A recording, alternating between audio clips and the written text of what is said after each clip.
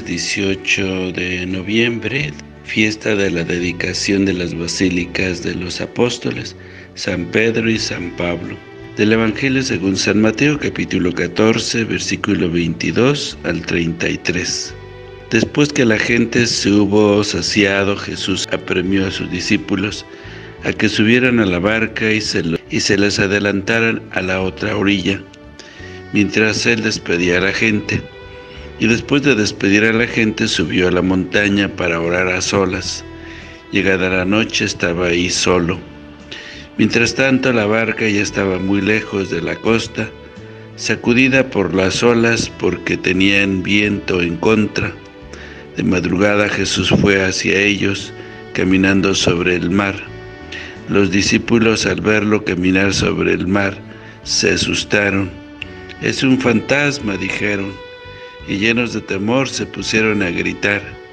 Pero Jesús les dijo, ánimo, soy yo, no tengan miedo.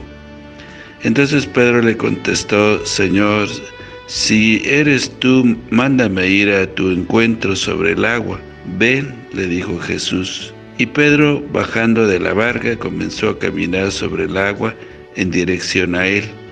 Pero al ver la violencia del viento tuvo miedo y, como comenzaba a hundirse, gritó, Señor, sálvame.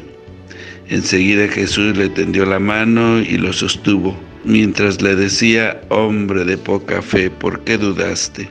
En cuanto subieron a la barca, el viento se calmó.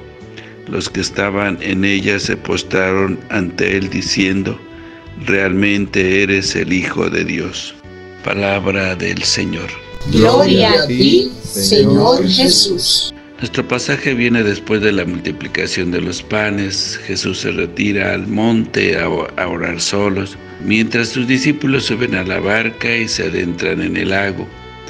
Durante la noche se levanta el viento y pasan momentos de miedo.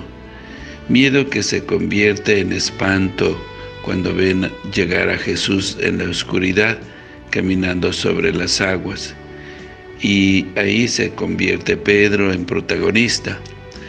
Pide a Jesús que le deje ir hacia él del mismo modo y empieza a hacerlo, aunque luego tiene que gritar, Señor, sálvame, porque ha, empezado a dudar y se hunde. Pedro es primero y un poco presuntuoso. Tiene que aprender todavía a no fiarse demasiado de sus propias fuerzas.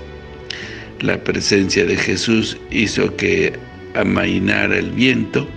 La reacción del grupo de los apóstoles está llena de admiración y termina diciendo verdaderamente, tú eres el Hijo de Dios. Ante todo, mirándonos al espejo de Jesús, aprendemos cómo compaginaba su trabajo misionero, intenso y generoso, con los momentos de retiro y oración. En el diálogo con su padre es donde encontraba también él la fuerza para su entrada a los demás. ¿No será esta la causa de nuestros fracasos y de nuestra debilidad, que no sabemos retirarnos y hacer oración? ¿Es la oración el motor de nuestra actividad? No se trata de refugiarnos en la oración para no trabajar, pero tampoco de refugiarnos en el trabajo y descuidar la oración, porque ambas cosas son necesarias en nuestra vida de cristianos y de misioneros, para que nuestra actividad no, no solo sea humanamente honrada y hasta generosa, sino que lo sea desde las motivaciones de Dios. La barca de los discípulos, zarandeada por vientos contrarios, se ve fácilmente como símbolo de la iglesia, agitada por los problemas internos y la oposición externa. Cuando Mateo escribe su evangelio, la comunidad ya sabe muy bien lo que son los vientos contrarios. También es símbolo de la vida de cada uno de nosotros, con sus tempestades particulares. Aquí nos da otra gran enseñanza. Sin Jesús en la barca, todo parece hundirse. Cuando le dejamos subir, al viento se opaca. En los momentos peores, tendremos que recordar la respuesta de Jesús. Ánimo, soy yo, no tengan miedo, y confiar en Él. La aventura de Pedro también nos interpela por si tenemos la tendencia a fiarnos de nuestras fuerzas y de ser un tanto presuntuosos. Por una parte hay que alabar la decisión de Pedro, que deja la relativa seguridad de la barca para intentar avanzar sobre las aguas.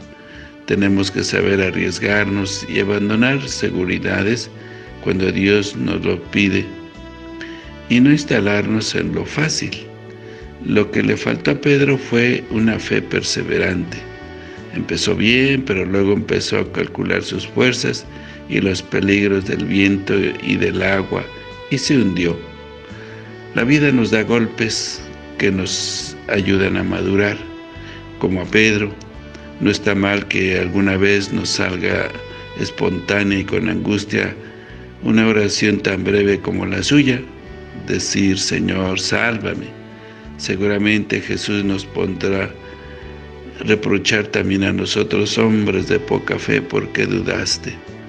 E iremos aprendiendo y arriesgando a pesar del viento, pero convencidos de que la fuerza y el éxito está en Jesús, no en nuestras técnicas y talentos, y llegar a decir como Pedro, verdaderamente tú eres el Hijo de Dios. Hoy celebramos esta fiesta de la dedicación de las basílicas del apóstol San Pedro y San Pablo. En, el año 2009, con motivo de esta celebración, el Papa Benedicto XVI dijo que esta fiesta nos brinda la ocasión de poner de relieve el significado y el valor de la Iglesia. Queridos jóvenes, les decía, amen a la Iglesia y cooperen con entusiasmo en su edificación con su conmemoración, pues, se refiere, se quiere significar la fraternidad de los apóstoles y la unidad en la iglesia. La liturgia ha unido en el mismo día la fiesta y la dedicación de los dos apóstoles, columnas de la iglesia, tan dispares en su origen, el uno apóstol y el otro perseguidor, tan diversos en su apostolado, el uno representa la tradición y el otro la renovación, pero unidos ambos por el martirio, bajo una misma persecución y unidos sobre todo por el mismo amor ardiente y sincero a Jesús. Que el Señor los bendiga.